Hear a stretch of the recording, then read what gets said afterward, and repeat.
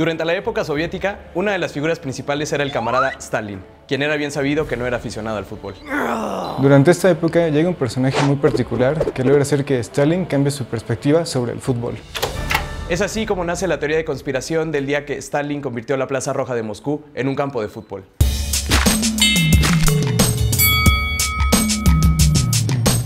Todo esto comienza con este compa eh, Kosarev, líder de las juventudes comunistas, que bueno, él empieza a ver todo el impulso que tiene el fútbol en Europa y decide que es momento de traerlo a la Unión Soviética.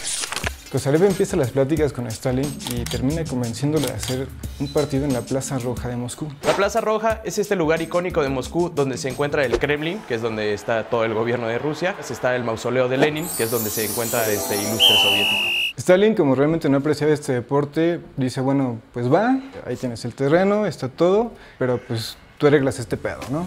Kosarev quería que el equipo que jugara esa tarde fuera el Dinamo de Moscú, el equipo de la policía, y pues ellos dijeron que no.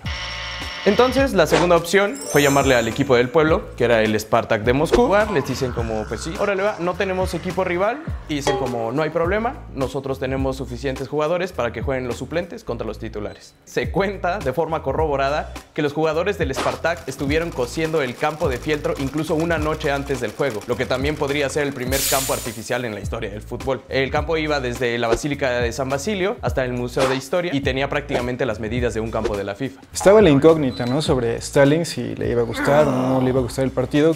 Entonces es donde vuelve a entrar Kosarev, ese camarada, si no le gusta el partido, en ese momento usted saca un pañuelo blanco y el árbitro pita el final del partido. Entonces se empezó a jugar el partido.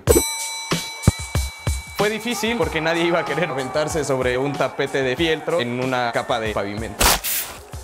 Pero aún así el partido se pone tan bueno que le queda gustando al camarada Stalin. Incluso le gusta tanto que se había pactado que se jugaran solo 30 minutos y al final se terminaron jugando 43.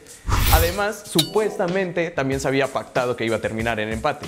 Pero no, ganan los titulares del Spartak 4-3. Curiosamente, los titulares del Spartak llevaban playera roja, que era un símbolo comunista, y los suplentes una blanca. Total, salen las cosas mejor de lo que esperaban y yo creo que mejor de lo que Kosarev esperaba. Eso le abrió las puertas a Kosarev, pero eso como siempre representa un peligro. Siempre se sabido de las paranoias tan locas que se cargaba Stalin. Kosarev comienza a tener más poder y empieza a tener roces con gente muy cercana al cámara de Stalin. ¿Qué hacemos? Lo mandamos a la primera fila. A la primera línea de la guerra en los 40 en Berlín.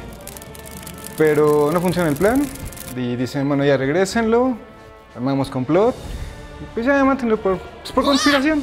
Bueno, pues para mí existió, eh, es un hecho que está ahí, está fundamentado. Y la conspiración o la teoría sería Stalin, ¿no? Con esos cambios tan abruptos por la gloria de la Unión Soviética que iban de un extremo a otro. Y bueno, yo creo también es una muestra de, de, poder de Kosarev. Fue con el primer equipo, no funcionó.